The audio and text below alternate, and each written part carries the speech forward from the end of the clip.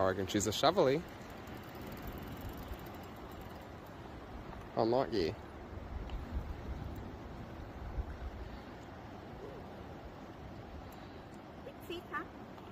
Oregon? I reckon it might be a shovel nose shark. Oh.